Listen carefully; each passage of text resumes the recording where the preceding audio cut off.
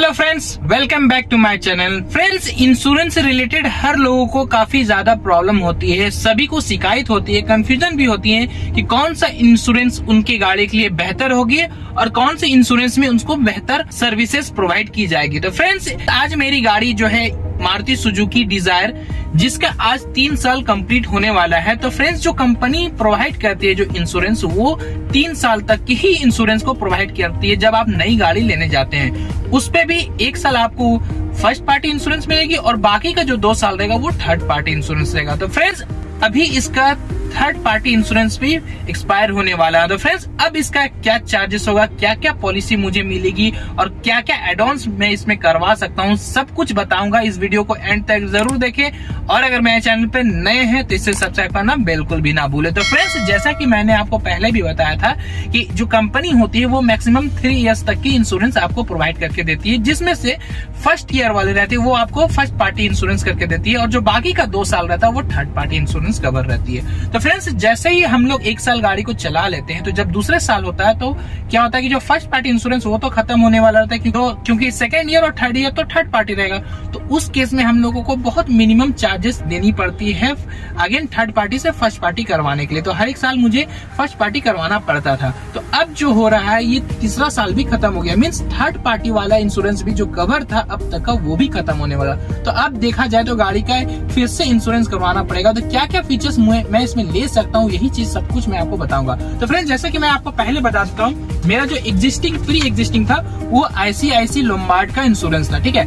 और इसमें मैंने बहुत सारी चीज़ एड ऑन करवाया था, जैसे कि आपको, मैं आपको बता देता हूँ। यहाँ पे मैंने ज़ीरो डेप्थ वाली पॉलिसी को एड ऑन किया था, ठीक है? एड ऑन फीचर्स में ज़ीरो डेप्थ वाली पॉलिसी अब ये ज़ीरो डेप्थ वाली पॉलिसी होती क्या है, मैं आपको बताता हूँ। जैसे आप फ़र्स्ट पार्टी इंश्योरेंस लेंगे, उसी के अंदर ज़ीरो डेप्रिसिएशन वाली पॉलिसी भी आती है, जो आप एड ऑन कर सकते हैं कुछ अलग से चार्जेस दे करके। तो जैसे ही मैंने इसमें चार्जेस दे के अलग से एड ऑन किया तो इसमें मुझे क्या होता है कि कल की इन फ्यूचर अगर मेरा किसी गाड़ी के साथ एक्सीडेंट भी हो जाती है तो जब मैं क्लेम करने जाऊँगा इंश्योरेंस से तो मुझे कोई भी कंप्रहेंसिव कोई भी अमाउंट मुझे पे नहीं करनी पड़ेगी। पूरा का पूरा गाड़ी इंश्योरेंस बना के देगी। बस मिनिमम फाइलिंग चार्ज होती है मिनिमम मुझे वन थाउज़ेंड बस उतना ही मुझे पे करना होगा, बाकी टोटल अमाउंट कंपनी पे करेगी। तो यही हो गया ज़ीरो डेप्रिसिएशन वाली पॉलिसी जो मैंने एड ऑन करा था। इसके साथ ही मुझे इसमें इंजिन प्रोटेक्शन भी मिला था इंजिन प्रोटेक्शन प्लस भी मिला था, जो ये सारा चीज़ मुझे लगभग बारह हज़ार आठ सौ तिहत्तर रूपए का मेरा इंश्योरेंस था ये गाड़ी का, ठीक है?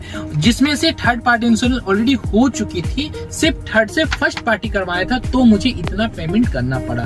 तो फ्रेंड्स अब मैं सेम पॉलिसी को रिन्यूअल कराऊँगा, फिर से मैं इंश्योरेंस लूँगा। अब देखते हैं क्या चार्जेस बनेंगे। तो फ्रेंड्स इस वीडियो को थोड़ा भी स्किप ना करें, मैं इसमें ए टू जेड आपको क्लियर करूँगा। इसके बाद आपको इंश्योरेंस रिलेटेड कोई भी वीडियो देखने की ज़रूरत नहीं पड़ेगी। तो फ्रेंड्स चलते सीधे शोरूम के अंदर, जहाँ से मैंने गाड़ी परचेस किया था। सिर्फ़ मैं वहीं से करवाता हूँ, हमेशा इंश्योरेंस कुछ क्योंकि वहाँ से मुझे अच्छा खासा पहचान हो चुका है लिंकअप हो चुका तो मुझे कोई प्रॉब्लम नहीं होती है। तो फ्रेंड्स चलिए सीधे शोरूम की ओर चलते हैं, फिर मैं आपको वहाँ पे लाइव दिखाऊँगा, वहाँ पे सारा प्रोसेस मैं आपको समझाऊँगा। तो चलिए देर ना करता हूँ मैं गाड़ी को सीधे लेके चलता हूँ।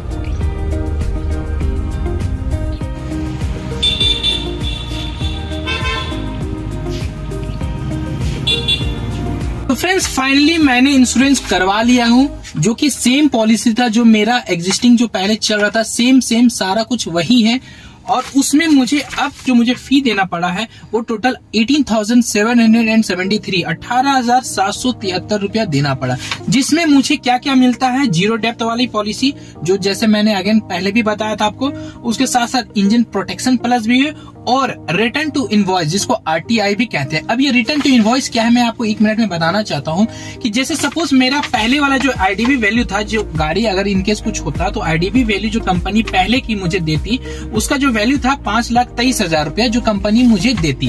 बट अभी का जो आईडीबी वैल्यू हो गया, वो है घट करके चार लाख अड़तालीस हज़ार लमसम में। तो ये हर साल टेन परसेंट डिक्रीज होती है। लेकिन अगर आप आरटीआई लेते हैं आरटीआई जो एड ऑन करवाते हैं मीन्स रिटर्न टू इनवॉइस वाला तो जो आपका एक्स शोरूम था, जो गाड़ी अब लिए थे जितने में सपोज़ चार लाख, पाँच लाख, आठ लाख, दस लाख, जितने भी आपका एक शोरूम था ऑन रोड को छोड़ के, जो आपको इनवॉइस में जो रेट था, गाड़ी का प्राइस था, जिसको एक शोरूम कहते हैं, वो प्राइस आपको मिलेगा अगर गाड़ी आपका टोटल लॉस में जाएगा। सपोज़ आज भी ये गाड़ी टोटल लॉस में जाती है, किसी न किसी अनफॉर्चुनेटली कहीं बुरा एक्सीडेंट होता है, गाड़ी टोटली डैमेज में जाती है, जिसका कोई रिकवर नहीं होगा देन आपको कंपनी इंश्योरेंस कंपनी आपको प्रॉपर पूरा का पूरा एक शोरूम प्राइस आज भी आपको ऑफ़र करेंगे। तो ये सबसे बढ़िया फीचर्स है, सबसे बढ़िया एड है इंश्योरेंस में, जो कि मुझे आईसीआई लोम्बार्ड में मिलता है। इसीलिए मैं इसको हमेशा फॉलो करता हूँ। इसीलिए मैं आपको भी रिकमेंड करता हूँ कि आप भी आईसीआईसी लोम्बार्ड का ही इंश्योरेंस ले। इसमें आपको इजी है,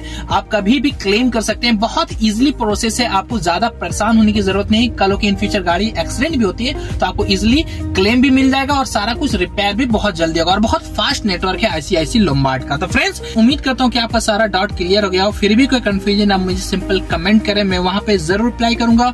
और अगर मेरे चैनल पे नए हैं तो इसे सब्सक्राइब करना बिल्कुल भी ना भूले। तो फ्रेंड्स आज के लिए इतना, मिलते हैं किसी नेक्स्ट वीडियो में, तब तक ले जाएँगे